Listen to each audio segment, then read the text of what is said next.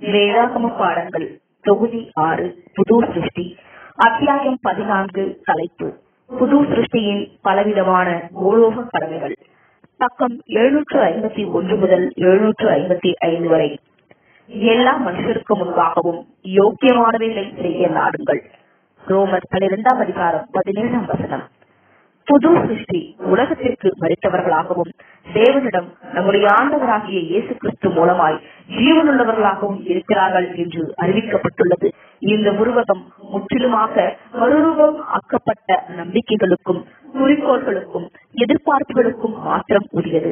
முதலாம் உயிர்த்தெழுதலில் புது சரீரத்திற்கு காத்திருக்கும் புதிய மனமானது மனுஷ சரீரத்தின் மூலமாக செயல்படும்படியாக வற்புறுத்தப்படும் போது அது சக மனிதனிடத்திலும் உலகத்தாரிடத்திலும் உள்ள சில நிச்சயமான கடமைகளை உணர வேண்டும். இவ்வுலகத்திற்கு உரிய குடும்பத்திற்கும் விசுவாச வீட்டாருக்கும் உலக பிரகாரமான விஷயங்களில் அதற்கு பொறுப்புகள் இருக்கிறபடியால் இவைகள் தளர்த்தப்படாமல் குறைக்கப்படாமல் மனம் மறுரூபம் ஆக்கப்படுவதால் அதிகரிக்கின்றன. அதே மாதிரியாகவே சக மனிதனிடத்தில் உள்ள சில கடமைகளும் அதிகரிக்கின்றன.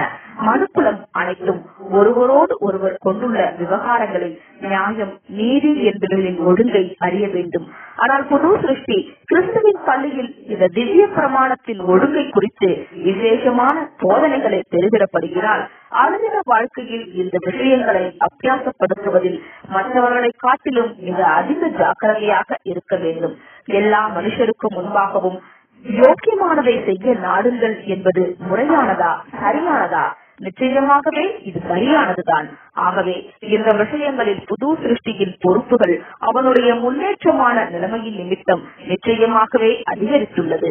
மற்ற மனிதர்கள் நேர்மையுள்ளவர்களாக உண்மையுள்ளவர்களாக குற்றமற்றவர்களாக கனமுள்ளவர்களாக பரந்த மனமுள்ளவர்களாக எதிர்பார்க்கப்படுகிறார்களா?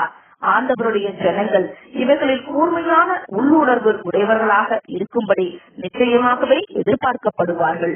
மேலும் ஒவ்வொரு நாளும் சிந்தையிலும் வார்த்தையிலும் நடத்தையிலும் பரிபூரண நிலைமைக்கு வரும்படி முயற்சிக்க நிச்சயமாக எதிர்பார்க்கப்படுவார்கள்.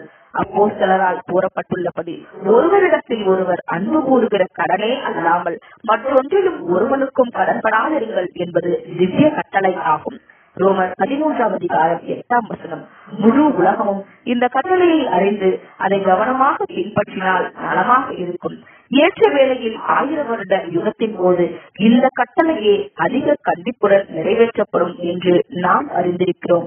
ஆனால் புது சிருஷ்டி இப்பொழுது இந்த கட்டளையை தன் பிரமாணமாக கொண்டுள்ளது. மற்றவர்கள் அதை அறியவும் பின்பற்றவும் தவறினாலும் கூட ஆண்டவருடைய ஜனங்கள் இந்த கட்டளைக்கு மிகச் சரியாக கீழ்ப்படிய வேண்டும். ஊழிய வீட்டாராகிய ஜென்ம சுபாவமுள்ள இஸ்ரேலுக்கும் தேவன் கட்டளையை விதித்திருக்கிறார். அதாவது அவர்கள் உண்மையுள்ளவர்களாக இருந்தால் அவர்கள் கடன் வாங்குகிறவர்களாக அல்ல கடன் கொடுக்கிறவர்களாக இருக்க வேண்டும். உபாகமம் பதினைந்தாம் அதிகாரம் ஆறாம் வசனம். இந்த கொள்கை ஞானத்தின் சாராம்சமாக நல்ல தீர்மானம் எடுக்கக்கூடிய ஒவ்வொருவரிடத்திலும் ஆதிக்கம் செலுத்துகிறது. இந்த ஞானத்தை உலகத்திற்கு உரியதாக்க முடியுமானால் நல்லதாக இருக்கும். இந்த ஞானத்தை உலகம் அறிந்திருக்கிறது. ஆனால் ஆண்டவருடைய ஜனங்களில் அல்லது உலகத்தாரில் வெகு சிலரே அதை வாழ்க்கையில் மாறுதல் உண்டு பண்ணக்கூடிய ஒரு கொள்கை என்று எண்ணி பின்பற்ற முயற்சிப்பார்கள். வேறு விதமாக சொல்ல வேண்டும் என்றால் உலக காரியங்களை பொறுத்தவரையில் ஒவ்வொரு புது சிருஷ்டியின் அங்கமும் அதனுடைய தகுதிக்கு உட்பட்டு வாழ வேண்டும். நாள் ஒன்றுக்கு ஒரு டாலர் தான் சம்பாதிக்க முடியும் என்றால் அத்தியாவசியமான தேவை இருந்தால் ஒழிய அவன் அதற்கு மேலாக செலவழிக்க வேண்டும் என்று ஒரு வினாடி கூட நினைக்க கூடாது அதிக அனுகூலமான சூழ்நிலை ஏற்படும் வரை தன்னுடைய நிலைமையை அதற்கேற்ப மாற்றிக்கொள்ள வேண்டும்.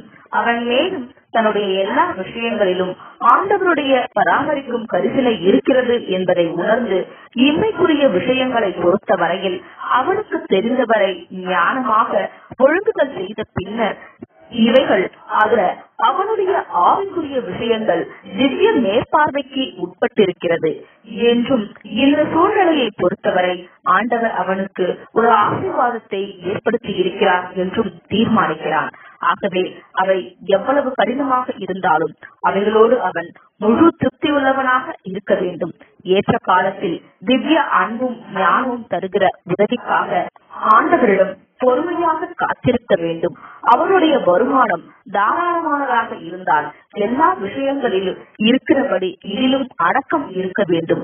உங்கள் சார்ந்த குணம் எல்லா மனிதருக்கும் தெரிந்திருப்பதாக நம்முடைய ஆண்டவராலும் அப்போஸ்தலராலும் உதாரணமாக காட்டப்பட்டுள்ளது போன்று சிக்கனம் திவ்ய ஒழுங்கின் ஒரு பகுதியாகும். ஒன்றுமே இல்லாமல் ஒரு திரளான ஜனங்களுக்கு ஆகாரம் உண்டு பண்ணிய போது ஆண்டவருடைய உத்தரவின்படி துணிகளை சேகரிக்க வேண்டும் என்பதில் இது குறிப்பாக விளக்கமாக கூறப்பட்டுள்ளது. நம்மிடத்தில் உள்ள செலவழிக்கும் சக்தி ஓர் அளவிற்கு உட்பட்டிருக்கிறதற்கு ஏற்ப செலவுகள் குறைக்கப்பட்டு வருமானத்திற்கு ஏற்ப கொண்டு வரப்படுவதோடு வருமானத்திற்கு சற்று குறைவானதாகவும் இருக்க வேண்டும். அதன்படி நாம் எவ்வளவு குறைவாக சம்பாதித்தாலும் பரவாயில்லை. ஒரு பகுதி தனியாக எடுத்து வைக்கப்பட வேண்டும். அது நம்முடைய எதிர்கால தேவைக்காகவோ அல்லது ஆண்டவருக்கு ஒரு ஸ்தோத்திர காட்சிக்காகவோ அல்லது அப்போ சிலர் கூறுகிறபடி இன்னும் அதிக தேவையுள்ளவர்களுக்கு கொடுக்கும்படியாகவோ பயன்படும். ஆண்டவரை நம்புவது என்பது திருப்தியை குறிக்கிறது என்பதை எப்பொழுதும் நினைவில் வைத்துக் கொள்ள வேண்டும். அது நமது இருதயத்திற்கு அமைதியை தருகிறது. இப்படிப்பட்ட சூழ்நிலைகளில் ரொட்டியும் தண்ணீரும் அல்லது உருளைக்கிழங்கும் உப்பும் அதிக ருசியுள்ளதாக காணப்படும். மேலும் வித்தியாசமான நோக்கத்தில் எடுக்கப்பட்ட அதிக சத்துள்ள உணவை காட்டிலும் கூடுதலான பலனை தரும்.